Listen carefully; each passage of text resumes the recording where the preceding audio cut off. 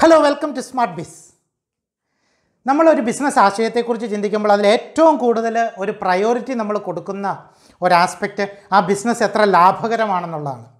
നമ്മൾ പലരോടും എന്തുകൊണ്ടാണ് നിങ്ങൾ ഈ ബിസിനസ് ആശയം തിരഞ്ഞെടുത്തതെന്ന് ചോദിക്കുമ്പോൾ അവർ പറയുന്നൊരു കാര്യം ഇതാണ്. ഇപ്പോൾ ഏറ്റവും ലാഭമുള്ള ബിസിനസ് ഇതാണ്. അപ്പോൾ അതുകൊണ്ട് നമുക്കതൊന്ന് സ്റ്റാർട്ട് ചെയ്യാമെന്ന് ചിന്തിച്ചു എന്നുള്ളതാണ്. അപ്പോൾ എന്താണ് ലാഭമുള്ള ബിസിനസ്സുകൾ ലാഭമുള്ള ബിസിനസ്സുകളുടെ പ്രത്യേകതകൾ എന്താണ്? അതാണ് ഇന്നത്തെ ഈ വീഡിയോയിൽ നമ്മൾ പരിശോധിക്കുന്നത്. ഒന്നാമത്തെ പ്രത്യേകത എന്ന് പറഞ്ഞാൽ ലാഭമുള്ള ബിസിനസ്സുകൾ പലതും തന്നെ ഹൈ ഇൻവെസ്റ്റ്മെന്റ് ആവശ്യമുള്ള ബിസിനസ്സുകളായിരിക്കും. അപ്പോൾ വളരെയധികം ഇൻവെസ്റ്റ്മെന്റ് ആവശ്യമുള്ളത് കൊണ്ട് തന്നെ ആ ബിസിനസ്സിലേക്ക് കടന്നു വരുന്ന പുതിയ ആളുകളുടെ എണ്ണം വളരെ കുറവായിരിക്കും. പുതിയതായിട്ട് ഒരാൾ ഒരു ബിസിനസ് സ്റ്റാർട്ട് ചെയ്യുന്നതിനെക്കുറിച്ച് ആലോചിച്ചാൽ പോലും അതിനകത്തെ വളരെ ഹ്യൂജ് ആയിട്ടുള്ള ഒരു ഇൻവെസ്റ്റ്മെന്റിനെ കുറിച്ച് ചിന്തിക്കുമ്പോൾ അദ്ദേഹം അതിൽ നിന്ന് മാറിപ്പോകാനുള്ള സാധ്യതയുണ്ട്. അപ്പോൾ അതിനകത്ത് സ്വാഭാവികമായിട്ടും പ്ലെയേഴ്സ് വളരെ കുറവായിരിക്കും. പ്ലെയേഴ്സ് വളരെ കുറവായതുകൊണ്ട് തന്നെ സപ്ലൈ വളരെ ലിമിറ്റഡ് ആയിരിക്കും. സപ്ലൈ ലിമിറ്റഡും ഡിമാൻഡ് കൂടുതലുമുള്ള ഒരു ബിസിനസ് ആണെങ്കിൽ തീർച്ചയായിട്ടും അവിടെ ഒരു എക്സ്ട്രാ പ്രോഫിറ്റ് ആ ഇൻഡസ്ട്രിയിലുള്ള പ്ലെയേഴ്സിനെ സംബന്ധിച്ചിടത്തോളം ലഭ്യമാണ് എന്നുള്ളതാണ്. അപ്പോൾ ആദ്യത്തെ പോയിന്റ് ഹൈ ഇൻവെസ്റ്റ്മെന്റ് എന്നുള്ളതാണ്. ഇനി ലാഭമുള്ള ബിസിനസ്സുകളുടെ രണ്ടാമത്തെ ഒരു പ്രത്യേകത എന്ന് പറയുന്നത് അത് വളരെ ടെക്നോളജിക്കലി സോഫിസ്റ്റിക്കേറ്റഡ് ആയിരിക്കും. ചിലപ്പോൾ വളരെ നോളജ് ബേസ്ഡ് ആയിട്ടുള്ള ഒരു ഇൻഡസ്ട്രി ആയിരിക്കും എന്നുള്ളതാണ്. നമുക്കറിയാം പല ബിസിനസ്സുകളുടെയും ടെക്നോളജി അതിന്റെ പ്രൊഡക്ഷൻ പ്രോസസ്സ് അതിന്റെ പ്രൊഡക്ട്സിന്റെ ഫീച്ചേഴ്സ് അങ്ങനെയുള്ള പല കാര്യങ്ങളും പേറ്റന്റഡ് ആയിരിക്കും. അപ്പോൾ ഒരിക്കലും എന്നാന്ന് ചോദിച്ചാൽ പുതിയതായിട്ട് വരുന്ന മാർക്കറ്റിലേക്ക് വരുന്ന ഒരു പ്ലെയർക്ക് അത് നല്ല ലാഭമുള്ള ഒരു ബിസിനസ് ആണെങ്കിൽ കൂടി അങ്ങോട്ട് എൻട്രി ചെയ്യാനായിട്ട് ബുദ്ധിമുട്ടുണ്ട്. കാരണം ആ ടെക്നോളജി അദ്ദേഹത്തിന്റെ കയ്യിലില്ല. ഈ ടെക്നോളജി പേറ്റന്റഡ് ടെക്നോളജിയാണത് വളരെ കുറച്ച് ആളുകളുടെ കയ്യിൽ മാത്രമേ ഉള്ളൂ. അപ്പോൾ ആരുടെ കയ്യിലാണോ ആ ടെക്നോളജി ഉള്ളത്? ആ ടെക്നോളജിക്ക് മാർക്കറ്റിൽ ആവശ്യക്കാരുണ്ടെങ്കിൽ തീർച്ചയായിട്ടും നിങ്ങളുടെ ആ ബിസിനസ് വളരെ പ്രോഫിറ്റബിൾ ആയിരിക്കും. വളരെ കോമൺ ആയിട്ടുള്ള ഒരു എക്സാമ്പിൾ എന്ന് പറയുന്നത് നമ്മുടെ പേറ്റന്റഡ് മരുന്നുകളാണ്. അപ്പോൾ നമ്മളുടെ പല രോഗങ്ങൾക്കുമുള്ള വളരെ എഫക്റ്റീവ് ആയിട്ടുള്ള മരുന്നുകൾ പലതും പേറ്റന്റ് പ്രൊട്ടക്ഷനുള്ള മരുന്നുകളാണ്. ചില കമ്പനികൾ മാത്രമേ അത് ഉൽപ്പാദിപ്പിക്കുന്നുള്ളൂ. വേറെ കമ്പനികൾക്കൊന്നും അത് ഉൽപ്പാദിപ്പിക്കാനുള്ള പെർമിഷൻ ഇല്ല അപ്പോൾ അങ്ങനെ വരുമ്പോൾ ഇത് ആർക്ക് വേണ്ടിയിട്ടാണോ അത് പേറ്റന്റഡ് ആയിരിക്കുന്നത്? ഏത് കമ്പനിയുടെ കയ്യിലാണോ ആ പ്രൊഡക്റ്റിന്റെ പേറ്റന്റ് ഇരിക്കുന്നത്? ആ കമ്പനിക്ക് ആ മരുന്ന് വളരെ വലിയ ലാഭ മാർജിനിൽ വളരെ വലിയ പ്രൈസിൽ മാർക്കറ്റിൽ വിൽക്കാൻ കഴിയുന്നു എന്നുള്ളതാണ്. വലിയ ലാഭമുള്ള ബിസിനസ്സുകളുടെ മറ്റൊരു പ്രത്യേകതയാണ് അവയുടെ റോ മെറ്റീരിയൽസ്. അസംസ്കൃത വസ്തുക്കൾ വളരെ ദുർലഭമായിരിക്കും. അല്ലെങ്കിൽ അവ കേന്ദ്രീകൃതമായിരിക്കും. കുറച്ച് ആളുകളുടെ കയ്യിൽ മാത്രമായിരിക്കും അതിന്റെ അസംസ്കൃത വസ്തുക്കൾ ഉണ്ടാവുക. അപ്പോൾ ആ അസംസ്കൃത വസ്തുക്കളുടെ ദൗർലഭ്യമുള്ളതുകൊണ്ട് അല്ലെങ്കിൽ അത് കുറച്ച് ആളുകളിൽ മാത്രം കേന്ദ്രീകൃതമായിരിക്കുന്നതുകൊണ്ട് ഇത് ആരുടെ കയ്യിലാണോ ഉള്ളത് അവർക്ക് വലിയ ലാഭം ആ ബിസിനസ്സിൽ നിന്ന് ഉണ്ടാക്കുവാൻ കഴിയും. ഇതിനുള്ളൊരു പ്രധാനപ്പെട്ട എക്സാമ്പിൾ എന്ന് പറയുന്നത് നമ്മുടെ നാട്ടിലുള്ള പാറമടകളാണ് ക്വാറികളാണ്. അപ്പോൾ വളരെ കുറച്ച് ക്വാറികൾക്ക് ഗവൺമെന്റ് നിഷ്കർഷിക്കുന്ന രീതിയിലുള്ള ഇൻഫ്രാസ്ട്രക്ചറും ബാക്കി കാര്യങ്ങളും എല്ലാം ഉള്ളൂ.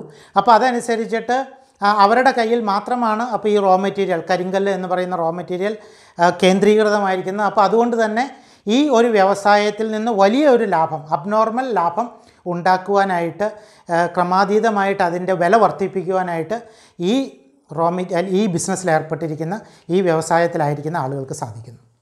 വളരെ ലാഭകരമായ ബിസിനസ്സുകളുടെ മറ്റൊരു പ്രത്യേകത എന്ന് പറയുന്നത് അവ പലപ്പോഴും ഗവൺമെന്റിന്റെ നിയന്ത്രണങ്ങൾക്ക് വിധേയമായിട്ടായിരിക്കും പ്രവർത്തിക്കേണ്ടി വരിക എന്നുള്ളതാണ്.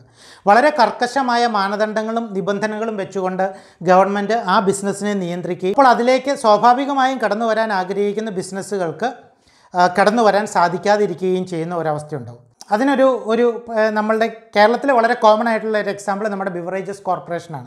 കേരളത്തിൽ വിദേശ മദ്യം വിൽക്കുവാനായിട്ട് ഗവൺമെന്റ് അനുവദിച്ചിരിക്കുന്നത് ബിവറേജസ് കോർപ്പറേഷനെ മാത്രമാണ്. അപ്പോൾ ഗവൺമെന്റ് മൊണോപ്പൊളിയായി ആ വിദേശ മദ്യം ഏത് വിലയ്ക്ക് വിൽക്കണമെന്നും അതിന് എന്ത് ടാക്സ് ഈടാക്കണമെന്നും എല്ലാം ഗവൺമെന്റ് തീരുമാനിക്കുന്നു. അതിന്റെ ഭാഗമായി അവിടെ ഒരു സ്വാഭാവികമായതിൽ കൂടുതൽ ഒരു ലാഭ മാർജിൻ അവിടെ നേടുവാൻ ആ ബിസിനസ്സിലായിരിക്കുന്ന ബിവറേജസ് കോർപ്പറേഷനെ കൊണ്ട് സാധിക്കുന്നു എന്നുള്ളതാണ്. ഇനി അടുത്തതായിട്ട് സമൂഹത്തിൽ ഉണ്ടാകുന്ന ചില മാറ്റങ്ങൾ. അത് ബിസിനസ്സുകളെ അമിത ലാഭം എടുക്കുന്നതിലേക്ക് ചിലപ്പോൾ കുറച്ച് കാലത്തേക്ക് ഒരു ടെമ്പററി ഫിനോമിനൻ അല്ലെങ്കിൽ ഒരു ടെമ്പററി ആയിട്ടുള്ള ഒരു പ്രതിഭാസം എന്ന നിലയിൽ അവിടുത്തെ ഒരു ഡിമാൻഡ് സപ്ലൈ ഗ്യാപ്പ് അഡ്ജസ്റ്റഡ് ആവുന്നത് വരെ ചിലപ്പോൾ കൂടുതൽ ലാഭം എടുക്കുന്നതിലേക്ക് വലിയൊരു വോളിയം ബിസിനസ് ചെയ്യുന്നതിലേക്ക് ചിലപ്പോൾ ബിസിനസ്സുകൾ ബിസിനസ്സുകളെ സാധ്യമാക്കും. അതിനൊരു മികച്ച ഉദാഹരണമാണ് നമ്മുടെ വീഡിയോ കോൺഫറൻസിങ് ആപ്പായ സൂം സൂം ആപ്പ് കുറേ കാലങ്ങളായി നമുക്കിവിടെ അവൈലബിൾ ആണ്. പക്ഷേ കൊറോണ വന്നതോടുകൂടി ആളുകൾക്കും സ്ഥാപനങ്ങളിലെ ജോലിക്കാർക്കും മൂവ് ചെയ്യാൻ പുറത്തേക്ക് മൂവ് ചെയ്യാൻ പറ്റാതെ വന്നതോടുകൂടി എല്ലാവരും ലോക്ക്ഡൗൺ ആയതോടുകൂടി അത് വേൾഡ് ഓവർ ലോക്ക്ഡൗണിലായി ആ ലോക്ക്ഡൗണിലായതോടുകൂടി കാര്യങ്ങൾ ചെയ്യുന്നതിന് വേണ്ടിയിട്ട് ഡിസ്റ്റന്റ് ആയിട്ടുള്ള ഇങ്ങനെ കോൺഫറൻസിങ് ആപ്പുകൾ ഉപയോഗിക്കേണ്ട ഒരു സാഹചര്യത്തിലേക്ക് വന്നു. അങ്ങനെ വന്നപ്പോൾ all on a sudden Zoom ആപ്പിന്റെ ഉപയോഗം വളരെയധികം വർദ്ധിക്കുകയും ആ ആപ്പ് ഒരു ഇൻസ്റ്റന്റ് ഹിറ്റായി മാറുകയും ചെയ്തു.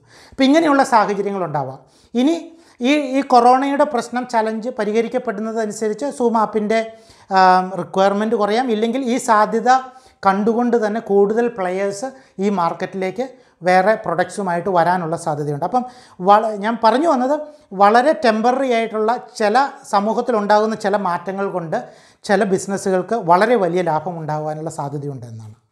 ചുരുക്കി പറഞ്ഞാൽ വളരെ ലാഭകരമായ ബിസിനസ്സുകളെക്കുറിച്ച് നമ്മൾ ചിന്തിക്കുമ്പോൾ അവയുടെ പ്രത്യേകതകളെക്കുറിച്ച് നമ്മൾ പഠിക്കണം. അവയുടെ നഷ്ടസാധ്യതകളെക്കുറിച്ച് അവയുടെ റിസ്കിനെക്കുറിച്ച് അതിന് ആ ബിസിനസ്സുകളിലുള്ള അനിശ്ചിതാവസ്ഥകളെക്കുറിച്ച് എല്ലാം മനസ്സിലാക്കിക്കൊണ്ട് വേണം നമ്മൾ ആ ബിസിനസ്സിലേക്ക് ഇറങ്ങാൻ. കൃത്യമായൊരു ബിസിനസ് പ്ലാൻ നമുക്കുണ്ടാവണം. നല്ലൊരു റോഡ് മാപ്പ് ഈ ബിസിനസ് എങ്ങനെയാണ് നമ്മൾ കൊണ്ടുപോകാൻ ഉദ്ദേശിക്കുന്നത് എന്നതിനെക്കുറിച്ച് കൃത്യമായ റോഡ് മാപ്പ് നമുക്കുണ്ടാവണം. അങ്ങനെ ഇല്ലാത്ത പക്ഷം ഒരുപക്ഷെ വലിയ പരാജയങ്ങൾക്ക് അത് കാരണമായി മാറിയേക്കാം. അപ്പോൾ തീർച്ചയായിട്ടും അങ്ങനെയുള്ള ഒരു ബിസിനസ്സിലേക്ക് ഇറങ്ങുന്നതിന് മുമ്പ് ആ ബിസിനസ് നമുക്ക് എക്സ്പെർട്ടൈസ് ഉള്ള മേഖലയാണോ എന്ന് പഠിക്കുക. ഇത്രയും എൻട്രി ബാരിയേഴ്സ് ഉള്ള നമുക്ക് കടന്നു ചെല്ലുവാൻ ബുദ്ധിമുട്ടുള്ള ഈ ബിസിനസ്സിലേക്ക് ഇറങ്ങുമ്പോൾ തീർച്ചയായും ഈ ബിസിനസ്സിന് ആവശ്യമായ റിസോഴ്സുകൾ അത് മനുഷ്യരായിക്കോട്ടെ പണമായിക്കോട്ടെ ടെക്നോളജി ആയിക്കോട്ടെ അല്ലെങ്കിൽ റോ മെറ്റീരിയൽസ് ആയിക്കോട്ടെ നമുക്കുണ്ട് നമുക്കത് പ്രാപ്യമാണ് എന്ന് ഉറപ്പ് വരുത്തിക്കൊണ്ട് ഇറങ്ങുക. ആ, ഇതെല്ലാം ആലോചിക്കുമ്പോഴും നിങ്ങളുടെ ഉത്തരം പോസിറ്റീവാണെങ്കിൽ യെസ് എന്നാണെങ്കിൽ ധൈര്യമായിട്ട് മുന്നോട്ട് പോവുക. ഈ ബിസിനസ് നിങ്ങൾക്കുള്ളതാണ്. ഈ ലാഭം നിങ്ങൾക്കുള്ളതാണ്.